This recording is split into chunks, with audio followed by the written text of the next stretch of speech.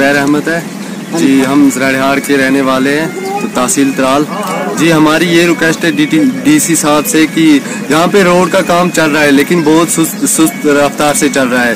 तो बारिश की वजह से यहाँ पे बहुत डैमेज भी हो रहे हैं तो पूरा काम जल्दी नहीं हो रहा है। तो हम डीसी साहब से ये अपील करते हैं कि रोड का काम जल्द से जल्द किया जाए। तो यहाँ पे ना गाड़ियाँ आ सकती है, ना कुछ। अगर कोई पेशेंट हो या कुछ भी इमरजेंसी केस हो तो यहाँ पे बहुत मुश्किल होती है। गाड़ी को चढ़ने में, उतरने में बहुत। अभी यहाँ पे एक फ़ंक्शन था तो बहुत सारी गाड़ियाँ नीचे ही रह गई।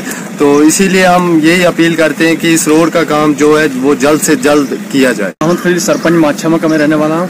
जो हमारी ये रोड लड़हल वाली है, इस रोड का काम चल रहा है। अभी सुस्त से चल रहा है, इसलिए हम डिस साहब से अपील करते हैं कि इस रोड का काम जल्दी होना चाहिए, क्यों हमारे यहाँ बीमार है, कोई उसको रात के वक्त में बेड पे उठा कर नीचे ले जाना पड़ेगा। आज वो फ़ंक्शन यहाँ सी वालों ने किए थे कैंप पे तो अच्छा से चल रहा था। सबको दवाई मुफ़्त में मिली और इसलिए हम रिक्वेस्ट करते हैं। एडीसी साहब हमारा नवा आया त्राल में उसको भी हम रिक्वेस्ट कर रहे हैं कि वो भी इस रोड को देखे कि सुस्ती से काम क्यों चल रहा है ये जो मसला है आपने आर एन बी हुकाम की नोटिस में लाई ये जरा फ़ोन काटो। असर खाना चाहिए फ़ोन दो मुझे ये बताइए जनाब ये जो मसला है अपने काम कर रहे हैं मगर सुस्त से कर रहा है।